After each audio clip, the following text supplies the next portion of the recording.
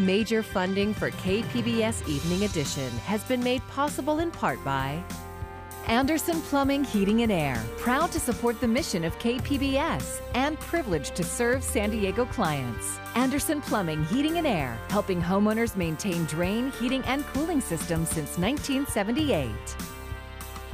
And by the Conrad Prebys Foundation, Darlene Marco Shiley, and by the following.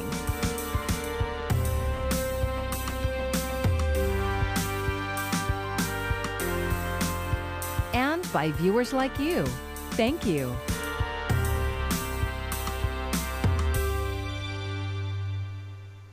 Good evening. It's Wednesday, July 14th. Thank you for joining us. I'm Maya Trabulsi. Day after day for the last several weeks, COVID cases in San Diego County have been on the rise. This comes as public health officials say vaccine hesitancy is becoming a concern.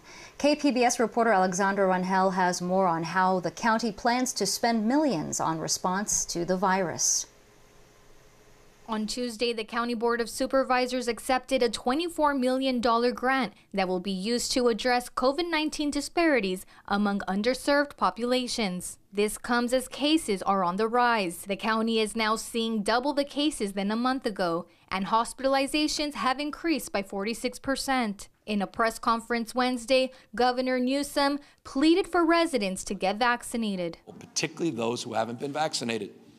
Those that are in the hospitals, those that have died, overwhelmingly are people that have not been vaccinated. Vaccine hesitancy continues to be a barrier in fighting the virus. We spoke to David Metz, president of FM3 Research. They conducted the recent county survey about residents' views on the vaccine. About one in five adults tell us that not only are they not vaccinated yet, but a majority of them say they have no intention of getting vaccinated. He says those hesitant are younger folks who don't see COVID as a threat. They also aren't confident in the vaccine. They lack confidence in the safety of the vaccine. They're worried about side effects. They're worried that the vaccine's development was too rushed, and they're uncertain what its long term impacts might be.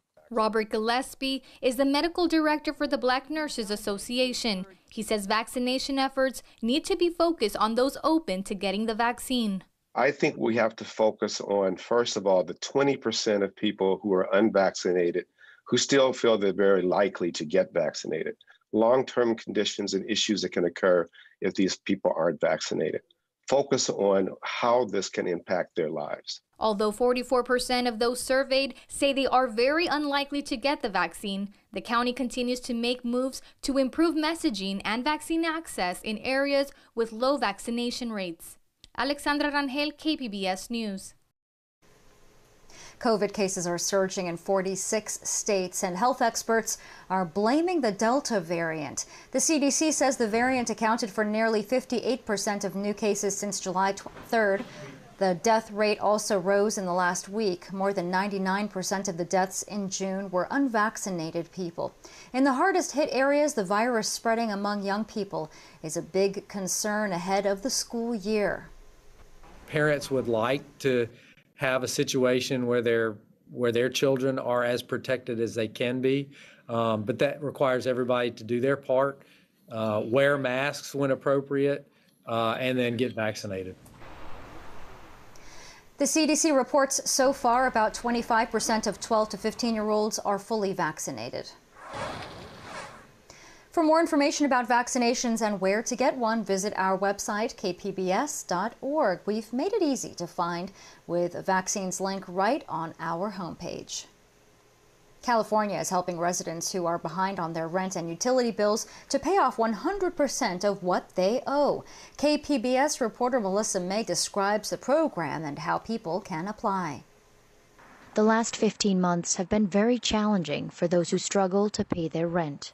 On June 28th, Governor Gavin Newsom signed AB 832 to help Californians get back on track. We put a program up, which is the largest now in the nation $5.2 billion to pay 100% of your back rent to April of last year and to pay 100% of your rent through September 30th of this year if you've been impacted directly by COVID 19. Today, Newsom gave an update of the program's impact. $1.02 billion as of this morning has been requested under this program. Uh, we have over 108,000, just shy of 109,000 applications. Jennifer Estrada is benefiting from the program. On the 30th, uh, I went to apply, and it works, and it's real. They paid for my bills. Uh, they paid two months' rent I was behind, plus they're paying till September. Um, people don't believe it, but it does work. It is true. Along with rent relief, there is also a program to help pay utility bills, including internet. An additional $2 billion that provides support to pay off your utilities.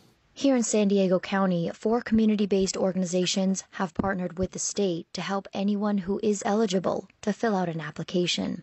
They are also available by phone and in home visits.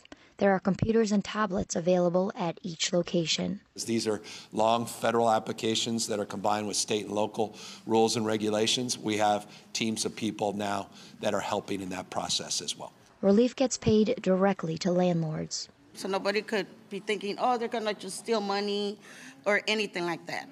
And um, I'm one of the ones that is proved that the Housing Foundation does work. Um, and there is money out there to get help, and we get to sleep better at night. Newsom encourages people to apply before September 30th. After September 30th, the likelihood that we're going to extend an eviction moratorium is very modest. Anyone who is income eligible can apply. The state's goal is to disperse rent relief money 30 days after the completion of the application process. Go to housingiskey.com to fill out the application. Melissa Mae, KPBS News. Low income San Diegans are missing out on millions of dollars in cash assistance from the state of California. KPBS Metro reporter Andrew Bowen has more on the results of a study released today. The report from the UC Berkeley based California Policy Lab analyzed data from CalFresh, the state's food stamps program. Many CalFresh recipients make so little money they're not required to file a tax return, but you need a tax return to receive the California Earned Income Tax Credit, which gives cash assistance to the state's poorest residents. That aid can go a long way toward helping people out of poverty. But of course, the concern, at least in the short term, is that programs like the CalEITC or the Golden State Stimulus or this newly expanded child tax credit, um, you know, we households who are most vulnerable, who have the lowest incomes, are most at risk of not receiving those programs. The report found San Diego County's poorest residents missed out on $5.5 million in unclaimed tax credits in 2017, the most recent year with available data. It recommends California expand free tax filing assistance to ensure everyone who's entitled to the tax credit receives it. Andrew Bowen, KPBS News. And if you have children, you may be eligible for the expanded child tax credit. Coming up on Evening Edition, how you can make sure you don't leave money on the table. The San Diego Police Department says about one in every five guns seized at crime scenes is a ghost gun. That's according to new numbers released at a City Council committee meeting today. A ghost gun is a homemade gun that does not have a serial number and is not registered with the state. So far in 2021, 233 have been seized, more than all of last year. State law regulates homemade firearms, and the legislature is looking into bills to make those regulations more strict. Some council members want the city to create its own laws on ghost guns. I want our city council to act, especially because the new California regulations won't be in place for another year, not until July of 2022 and I don't want us to wait a year to act locally here. Gun rights advocates say existing laws are restrictive enough, and the fact that ghost gun numbers are on the rise anyway proves that more laws won't solve the problem. I'm Judy Woodruff. Tonight on the News Hour, the road ahead for critical infrastructure legislation as it moves closer to votes in Congress. Coming up at 7 after Evening Edition on KPBS. Evacuations are set to begin for Afghan workers who helped the U.S. military effort in the nearly 20 year war. The Biden administration has set up flights as part of Operation Allies Refuge. Those military helpers will be available for special immigrant visa applications, part of the process of applying for U.S. residency. President Biden had faced political pressure from lawmakers on both sides to bring the Afghan workers here ahead of next month's U.S. military withdrawal. For many in the public, Afghanistan was America's back burner war far away, often overshadowed by war in Iraq. KPBS military reporter Steve Walsh tells us how a San Diego couple is still coping with the loss of their son in a helicopter crash 15 years ago. Justin O'Donohoe was 24 years old when he enlisted in the Army. He had already graduated college. His parents, Pat and Pam, still have his pickup truck out front. They drove it home to San Diego after visiting him at Fort Drum just before he deployed to Afghanistan in 2006. And we took him out to dinner at his favorite Chinese restaurant, which he loved, and that was the last time we saw him live. It's been 15 years since Justin died in a fiery helicopter crash on a mountainside in Kunar province, along with nine other soldiers. Fathers aren't supposed to bury children. There is no closure for that there is a a internal kernel of you that is still filled with grief. Justin O'Donohoe was a cavalry scout with the 10th Mountain Division. His platoon was on a mountain at night near the Pakistani border. One of Justin's platoon mates, Nick Pelosi, says the landing zone was only large enough for the giant Chinook's rear wheels to touch down. On the third try, the rear rotor struck a treetop. And it just tumbled and exploded and um, it was just mass mass carnage basically. They had been in the field for weeks part of operation mountain lion. The goal was to retake territory captured by al qaeda and the taliban. It was so hot that we couldn't get down in there so we're yelling you know if if you're hurt and you're still alive you know move or make a sound something and we're going to come down and get you. In the morning, the survivors came down to recover the bodies. Pelosi was injured after he was knocked out of the helicopter during an earlier attempt to land. I mean, it was about 9 11, and at this point, I, I don't really know.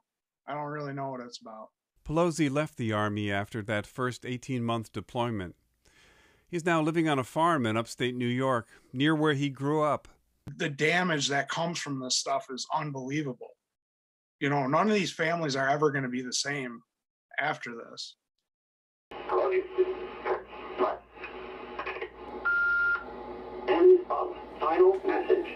Justin left one last voicemail before heading into the mountains in Afghanistan, just to tell his parents he was okay.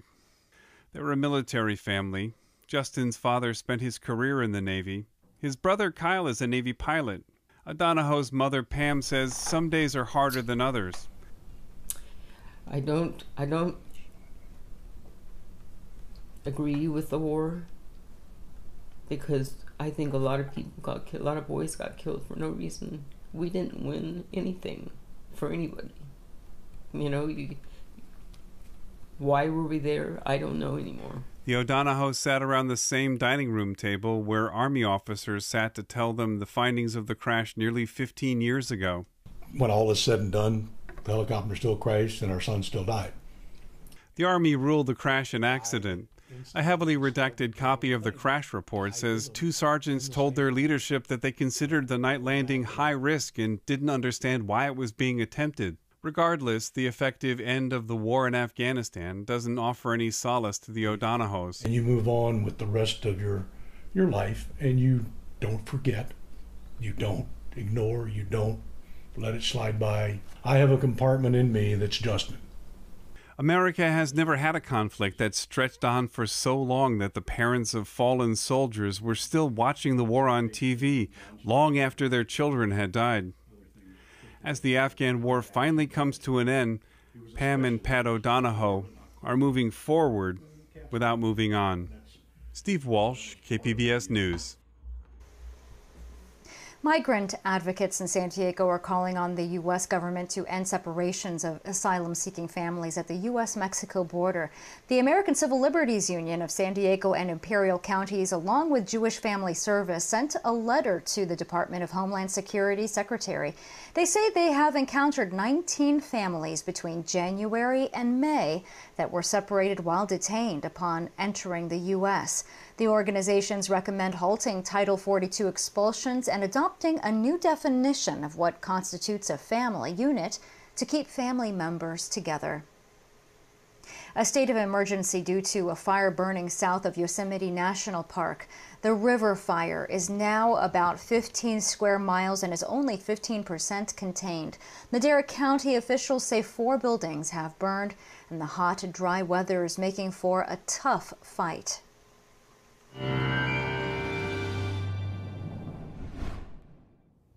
We're going to be looking forward to some cooler days for some of you before things could warm up yet again. Near the coast, things are going to stay nice and comfortable. That's really the winners of the forecast here over the next couple of days. High pressure is going to build in, though, later this weekend. And for some, that could mean a little bit of moisture and cooler temperatures. For others, it'll mean the heat and the dry conditions. Tonight in the metro, temperatures falling off into the upper 60s under some cloudy skies, as we're pretty used to getting during the overnight period. Oceanside dropping off to 65 degrees, Chula Vista 66, El Cajon 65, Borrego Springs low 80s there for you for those overnight lows. Thursday into Friday, we'll see that monsoonal moisture mainly over the Four Corners region, but as this high pressure begins to develop right about here, it's going to actually try to wrap in a little bit of moisture further and further west as we look ahead to the weekend. Uh, for your highs on Thursday in Ramona getting up to 89 degrees, so closing in right on that 90 degree mark, 109 in Borrego Springs, out towards San Diego, 76 degrees for that daytime high. And again, mentioned that high is going to be strengthening, moving westward and it's going to try to bring in some moisture here for this weekend, at least potentially into some of the higher terrain there. But it's a question of how far west that moisture is actually going to get. Near the coast, temperatures are really not changing a whole lot, just a couple degrees here over the next couple of days with highs in the mid to upper 70s. Further inland, temperatures are going to warm up just a little bit here as we start off the next work week, closing in on the 90s there by the time we get to your next Monday. In the mountains, temperatures starting off tomorrow in the mid 70s, and then we finish off the weekend in the low 70s. So again, not a whole lot of change here. Plenty of sunshine here in the forecast for you. And in the desert, we could actually see just a little bit of a drop off. It's a question of whether some moisture begins to work its way into the picture here late in the weekend as temperatures fall back down to about 102 in the desert and then a little bit of a bump as we head into next week again. For KPBS News, I'm meteorologist Jessica Pash. More than 2 million people have signed up for Affordable Care Act coverage during the special enrollment period. Enrollees now pay no more than 8.5% of their income toward coverage, down from nearly 10%. Also, Medicaid enrollment hit an all-time high of 81 million in February. Families of four with a combined income of a little over $100,000 are also eligible for the first time. The ACA special enrollment period ends on August 15th, but it may be extended.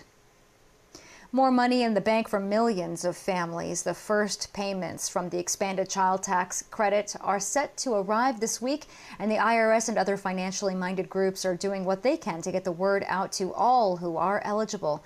Karen Caifa breaks down what you need to know for millions of American families. Those of you who are in that situation are going to start to see that coming in by the end of this month on a monthly basis. Monthly payments of up to $300 per child under age 6 and up to $250 per child under age 17 are on the way. The result of a possibly temporary expansion of the child tax credit, part of the massive COVID relief package signed by President Joe Biden in March.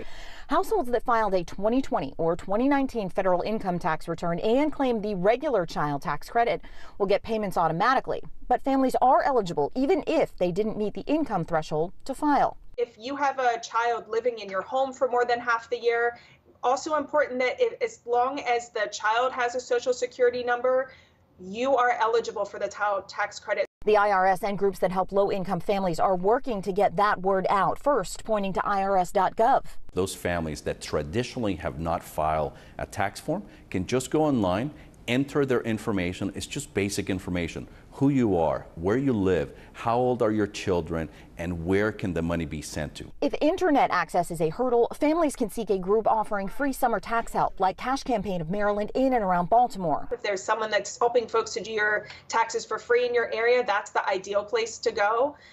The other thing is you know working with with neighbors friends trusted advisors that might be able to help you to navigate joseph Leitmann santa cruz of capital area asset builders which offers financial programs and education for low and moderate income black and brown families in the washington d.c area also advises preparing for future payments Open an account with either a credit union or a bank. Let's not waste your money because you might be unbanked or underbanked. Let's make sure that the money gets directly deposited into your account. Child tax credit payments are scheduled around the 15th of each month through the end of 2021. In Washington, I'm Karen Caifa. The San Pasqual Academy will remain open through the end of June 2022. The County Board of Supervisors unanimously approved extending the Academy's contract. Located in Escondido, it's a residential educational campus designed specifically for foster youth. It was slated to close in October because of declining enrollment. A major milestone today in the construction of Aztec Stadium in Mission Valley. KPBS reporter John Carroll was there for the ceremonial topping out ceremony. Under a hot July sun, work moved ahead on Aztec Stadium in Mission Valley Wednesday afternoon, while a big ceremony played out on what will be known as Basher Field. San Diego State President Adela de la Torre. What an amazing accomplishment we have here. San Diego Mayor Todd Gloria getting in some civic boosterism. The entire Mission Valley expansion of SDSU's campus, that's big, it's bold, it's exciting, it's the kind of stuff that the eighth largest city in the country should be doing. After the speeches, the big event, the raising of a steel beam laden with signatures from everybody who wanted to sign, an American flag, and a tree on top. The tree, an ancient symbol of good luck in construction. San Diego State's school song played as the beam rose. We'll speed things up so you can see its entire journey to the top. Looking around this unfinished stadium, one could be forgiven for being skeptical that it's going to be open and ready by September 3rd of next year, but San Diego State President Adela de la Torre isn't only confident of that, she's sure of it. I'm willing to bet on it. That's how much I'm willing to say I am confident about it. It's just everything has happened the stars have aligned. With all the excitement about the new stadium, it's easy to forget there's much more to this project. The site will also be home to a new river park, a research and innovation district, 4,000 new homes, and thousands of SDSU students, which leads to a pretty obvious question. Traffic in Mission Valley is already horrible, so how will the valley's strained transportation network handle all those extra people? We don't want a bunch of housing with a lot of degradation our quality of life. The way you prevent that is with thoughtful infrastructure investment. The regional transportation plan I hope we'll adopt this year will be exactly that. September 3rd, 2022. That's the date the stadium is set to open. The Aztec football team will take on the University of Arizona, and the game is already sold out. John Carroll, KPBS News. The White House is hoping to get a boost from pop star Olivia Rodrigo, all in hopes of encouraging young people to get that crucial shot in the arm. It's important to have conversations with friends and family members, encouraging all communities to get vaccinated and actually get to a vaccination site, which you can do more easily than ever before. The 18 year old actress and singer, who is from Temecula, by the way, visited the White House today to meet with the president and Dr. Anthony Fauci. Rodrigo will also be recording videos and answering questions. Federal Reserve Chairman Jerome Powell is testifying on inflation as prices for nearly everything climb higher. Some lawmakers are concerned the Fed isn't doing enough to help the economy recover from the pandemic. Mandy Gaither has a look at the testimony and how Powell is addressing criticism.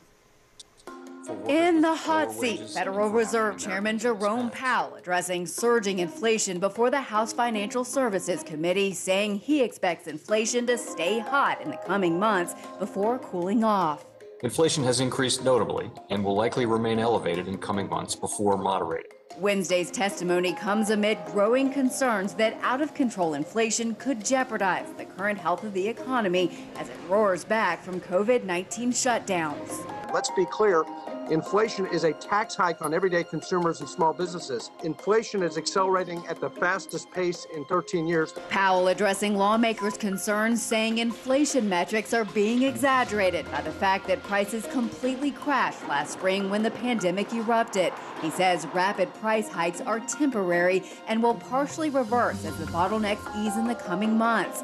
He also promised the Fed is ready to act if necessary if they notice signs that inflation expectations are persistently above the central bank's goals, said the economy is a ways off from where it needs to be for the central bank to change its current policy. However, Powell did say Fed officials are discussing whether it should scale back its asset purchases, saying they're looking at several metrics to make those decisions. It really is a very broad range of things, including wages, unemployment, levels of employment, participation, all those things. For today's Consumer Watch, I'm Mandy Gaither. And we have an update on our top story. San Diego County just reported another 275 coronavirus cases and four deaths. As case numbers rise again, public health officials say vaccine hesitancy is a concern. A recent county survey found one in five adults surveyed says they have no intention of getting vaccinated over concerns about side effects and that the development process was rushed. Yesterday, the County Board of Supervisors approved a $24 million grant to address disparities and increase vaccine access. You can find tonight's stories on our website, kpbs.org. Thanks so much for joining us tonight. I'm Maya Trabulsi. Have a great evening.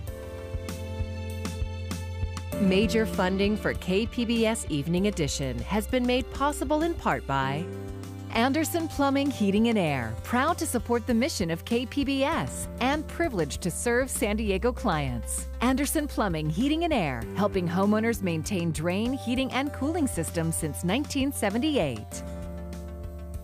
And by the Conrad Prebys Foundation, Darlene Marco Shiley, and by the following.